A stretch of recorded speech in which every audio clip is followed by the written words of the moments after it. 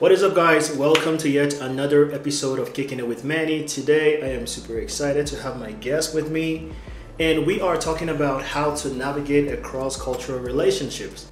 A lot of you guys out there are in relationship with other people from different cultures. You really don't know how to navigate. You're struggling to understand the person, you're struggling to get along. Today's conversation is going to help you have some open perspective about how to approach the relationship. If you're new here, make sure you subscribe, follow, like, and let's dive into today's conversation.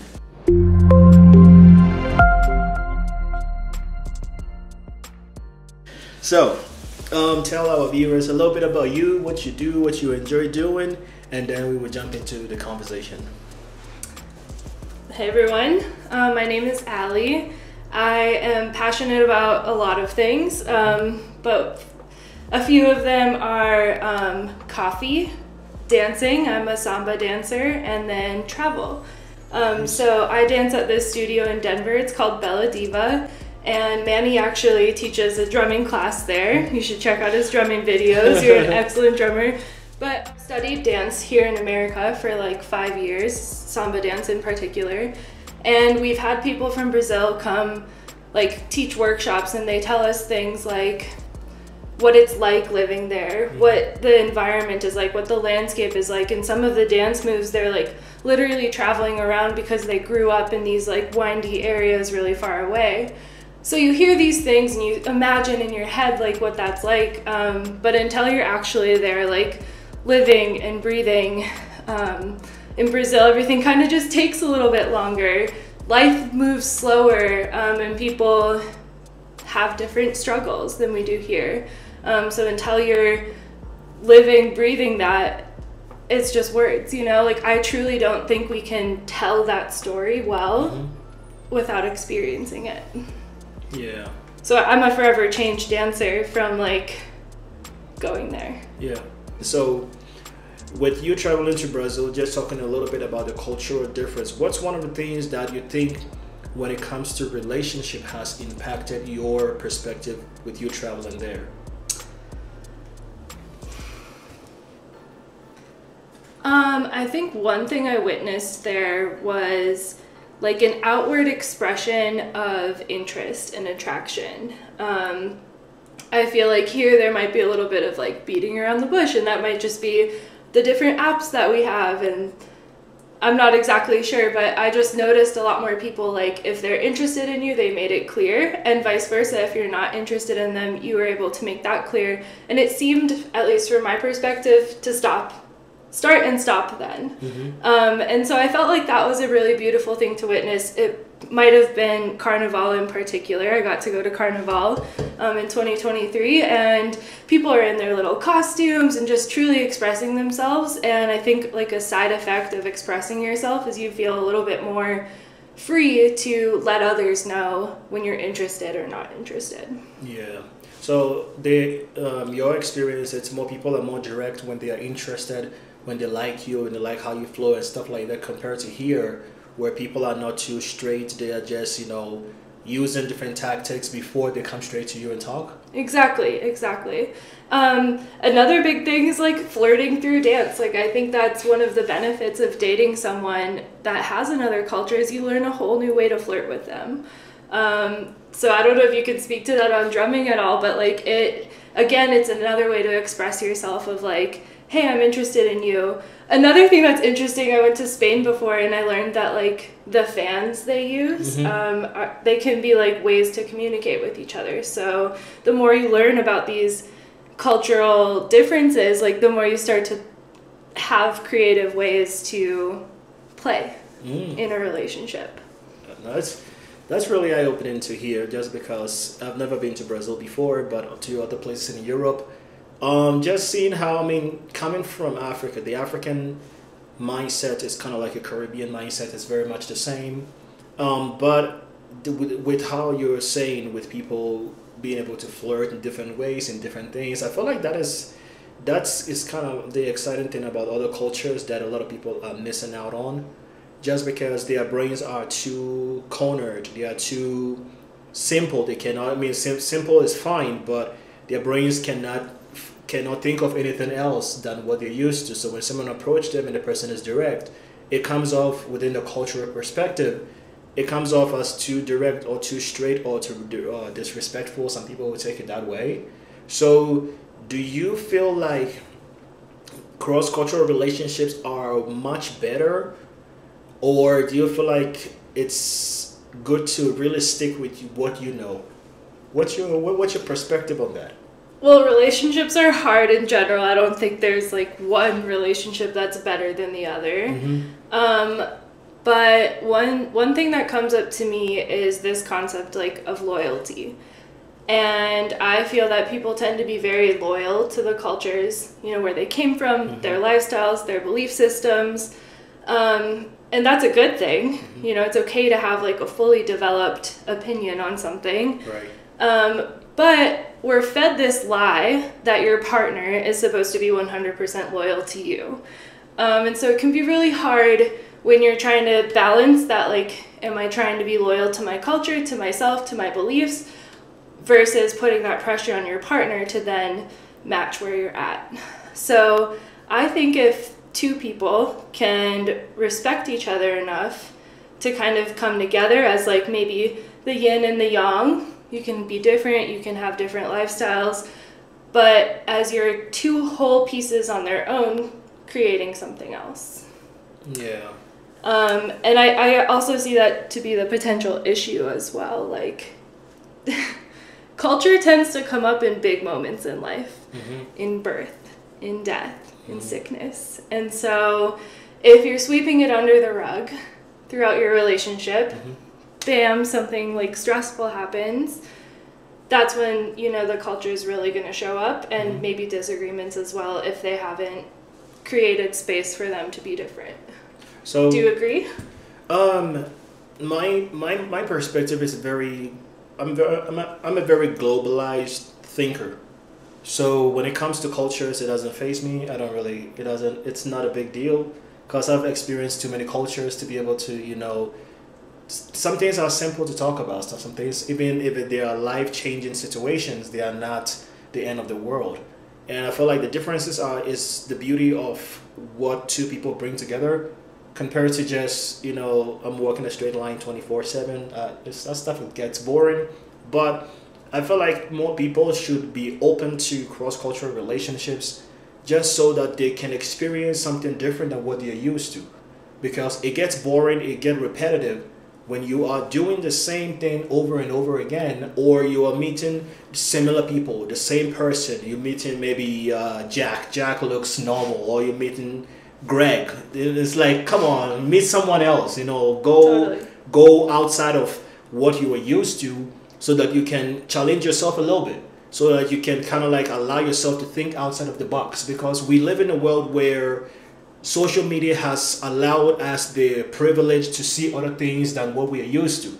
It has its goods and the bads, but at the end of the day, I feel like cultures are a big part of the world in general and cultures really defines a lot of different qualities that if we allow ourselves to really learn from it to be open to it it's it's fun to enjoy. And for me I've, that's one of the things about me.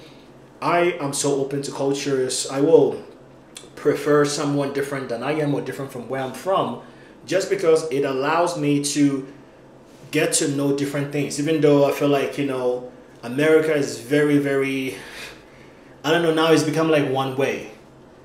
In, when I say one way, in the sense that you know similar music and stuff like that. Now African music, Afrobeat, and everything is taking the world and everything else. But I feel like Europe, Asia, all these places, you can still you know have people from there. It, it all comes down to what you like. But I feel like people need to be more open to cross cultural relationship just so they can be more open minded. They can be more explorative and they can grow to another level because doing the same thing the same culture the same food the same music the same lifestyle it just it's boring i absolutely agree with you and what are like what's the most joyful thing in a relationship is when you learn something about yourself and then you get to go to somebody that you're excited to share that like look at what i learned i learned that i like all these new foods or i enjoy speaking in a different language or celebrating my birthday a different way. Like it can be a very amazing way for people to be vulnerable and grow together.